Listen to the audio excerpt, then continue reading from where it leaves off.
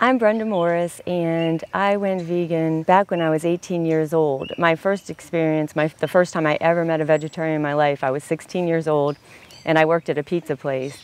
And one of my coworkers mentioned casually that she didn't eat meat. And unfortunately, she was a little bit snobbish about it. And I said, you can live without eating animals? And she said, yes, it's quite easy. So I went home that day and told my mom that I wanted to stop eating animals. And my sister, who was only 14 at the time, joined me.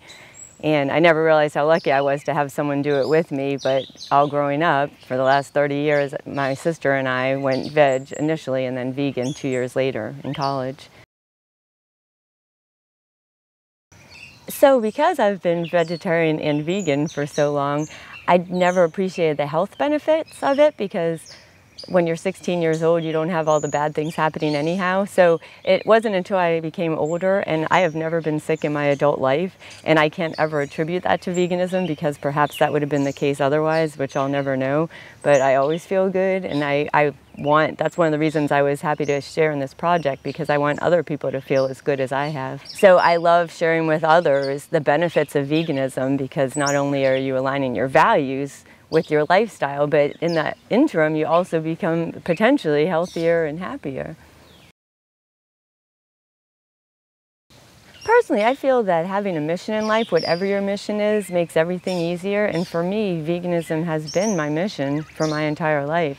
Having a reason to get up in the morning, have a reason to do things that might, you might not feel like doing it. I remember one time, it was in the middle of planning for the Veg Fest, and a school wanted a volunteer to come and talk to parents about going vegan and healthy eating and I didn't want to go. I wasn't in the mood, I was burnt out and I went begrudgingly and I had the time of my life. Everyone was so appreciative because it's a message a lot of times you're not going to get from the media and from other people because there's no money to be made in sharing eating healthy food. So some, I took a, a, a very negative attitude and it flipped when I saw how how great people were to hear that message and to be part of a movement again. So I feel like being part of a movement has been a big part of my life and I, I don't know that other people who aren't in the movement appreciate it until they meet us and they say, gosh, I would like to be part of this, if nothing else, for the social aspect and to have a common mission. I think it's important that people acknowledge that their actions do have an impact on others. Because one of the things I think people feel offended by when they say, why do you mind if I'm not vegan, if I don't share your values, I don't bother you about yours, but their actions actually do have an impact on others. To forget that big piece is huge because we're all drinking water that is polluted by animal agriculture and we all are sharing an, an experience with fellow beings, animals and otherwise, that if you choose to eat them, it, it does affect your fellow man. I think if if as society we acknowledge that all life is important and beautiful, that it's it's good for your for your neighbors.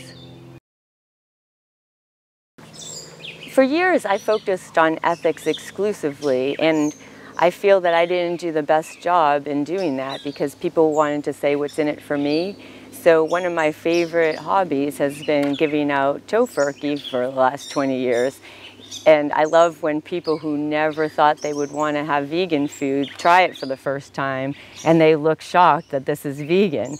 So it's, it's great for them to make the connection. And I, and I go through the spiel that this is not an apple. I'm not saying that every vegan food is healthy, but if you're looking to transition, it's wonderful to know that any craving you have today can be satisfied with a vegan alternative.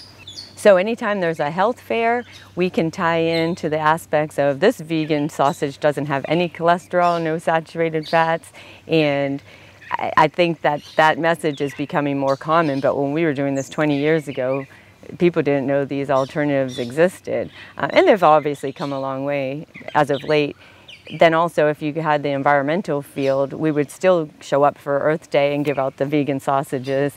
And again, people love hearing that they're not having as much of an impact on the environment by eating these foods. I've been part of the Vegetarian Society for 20 plus years and I'm also the organizer of the meetup group. And I think it's so important to have a, a, community of people that supports you. I've been blessed to have a family that supports me, but I've found out through organizing meetups that not everybody has that.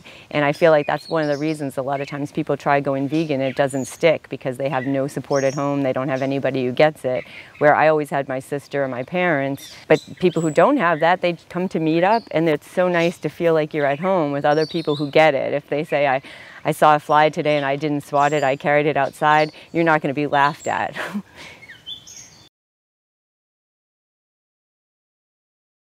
I haven't had challenges in being vegan, but again, it's I'm one of those people that likes challenges, so perhaps that which would be considered a challenge, I didn't even notice it. I, I like um, it's easier to navigate now, but even when we didn't, I liked trying to find something. I, I used to work for a big financial firm and they would take us to steak dinners and they were always surprised when I would show up. And they said, oh, there's nothing here for you. And I, I said, no, the, the chef will find something. And going out, and I remember most of the time they would come up with a pasta dish, but one steakhouse, they didn't know what to give me, so came out with a big plate of broccoli. And um, I, I, I love broccoli, so it wasn't much of a challenge, but that's hard for me. I don't feel like there's been any challenge. My family has been supportive. My dad used to tease me if he ever said you were cold. He would say, you're not getting enough meat, but it was in a loving way. My family has volunteered at the Veg Fest with me for the last 17, 18 years, and my friends always say, you're so lucky. I never realized until I see how other families aren't always supportive.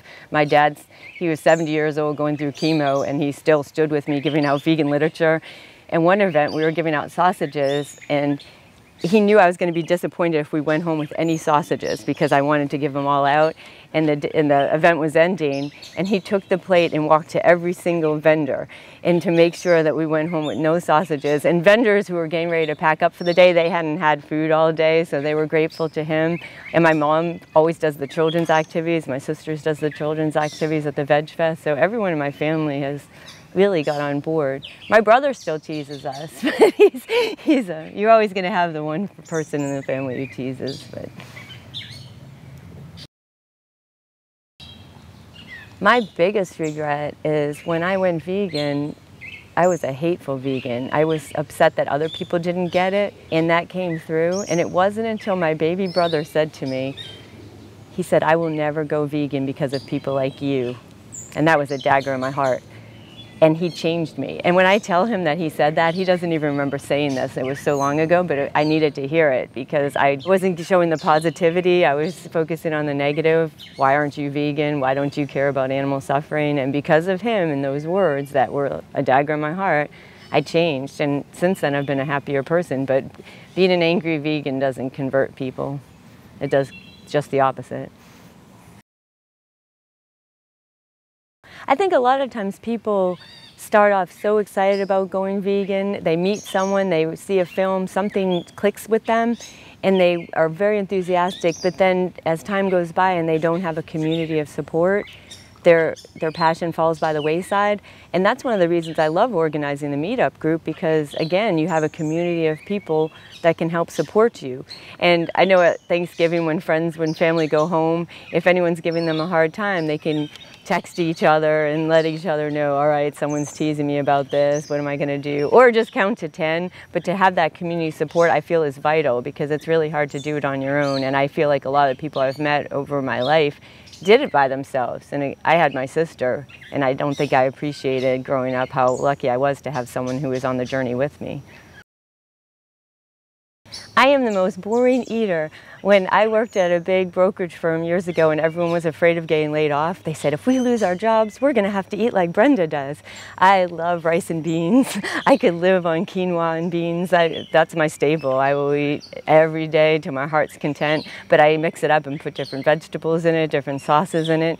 But I've been eating, gosh, quinoa and or rice every day for probably 30 plus years. And I'll go out to eat with my friends to be social and I'll have a veggie burger. I'll eat the latest and greatest but I always migrate back to my foods, and that's what makes me happiest. I think find someone who you can have as a mentor and if there's no one in your immediate social groups there's coaches nowadays where you can have someone to help you along the journey. That's a lot better than i am. I feel like i've been a bad coach and mentor. I'm better with groups but if someone wants that one-on-one google vegan mentor vegan coaches and again join your meetup whenever I travel, I look up the vegan meetup, and I've met the most amazing people all over the country just going out to dinner with them. One time I was in Kentucky, and I didn't know that Kentucky had vegan food, which sounds ignorant, I admit that now.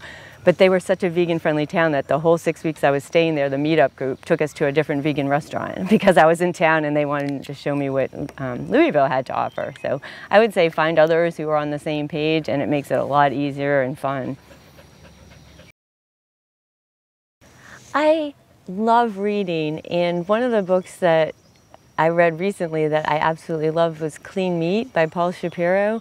And I thought, why do I need to read this? I already know everything in here. It was so inspiring. And if you're having a tough day as an activist and you feel like, oh, this is never going to happen, you read that book and you're so inspired that we are on the brink of change. So that, and also Game Changers. I am awful about watching documentaries. I feel like, oh, I already know all this. But Game Changers, I think, was a great movie to show people how easy it is and how you can actually feel better going vegan it was inspiring. So I love being part of the chili cook-off. It's this huge event in Richmond where people come from all over to eat chili, drink beer, and we used to joke that it's the one event where we're going into enemy territory because most of the people there, you could say with a, high degree of certainty, never try vegan food. So I would give out vegan chili all day. And it was funny because the more people drank, the more receptive they came to it. And one year I was working in Germany and I had to fly home for one night to get to the event, but I thought it was so important to do it. And you see people's faces and people who normally wouldn't come up to the table came up and VegFund said in order to fund the event that you had to give out literature. And I said, I don't want to waste literature. These people are going to throw it out. And I was so wrong. It was one of my happiest things to see every single person who was offered literature when they took the vegan chili sample all took the literature as well. So I felt like that was, again, people who normally aren't going to look up game changers, they're not going to read clean meat, they were at this event to have fun exclusively and they all wanted the literature.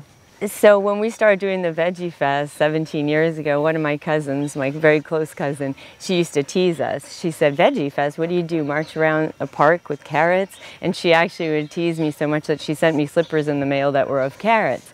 Cut to so many years later, Audra now coaches vegans, has two vegan babies, and she's like one of my biggest supporters in everything I do activism wise, and now she's doing it herself. But she went from completely teasing everything to do with what we did activism wise to becoming one of our biggest cheerleaders. I would never eat another animal. Never, never, never. It's been 30 years. There'd be no reason for it. I think people automatically assume if you're vegan, you're an animal person. And while I am a 100% uh, animal person now, for the first 30, 40 years of my life, I was not. It wasn't until I adopted Ginny. And people would say, oh, you must love dogs and cats. And I would be, hands off, get your dogs off of me. your dog is drooling on me. And I would say, I respect their right to live, but I don't need to be around them to respect their right to live.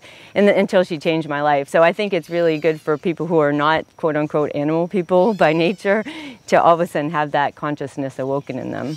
Today, I feel like it's so important to remember that we're all in this together and there's not us and them. And I was talking to somebody the other day and they were complaining about everyone on unemployment benefits not working. I said, be careful what you say because you've been one of those people, I've been one of those people, and I think that can happen with vegans and meat eaters, and I know I've been guilty of it, where us and them is different. And anytime you do that, you're hurting yourself and you're off, you're especially hurting others because there isn't us and them. We are all one. I love Gandhi's quote about the progress of a nation depends on how we treat animals, and I put that on every social media blog I can as a as a response when someone's saying something anti-vegan. I say, well, we need to raise the bar for our whole world because, as Gandhi said, it's important for civilization.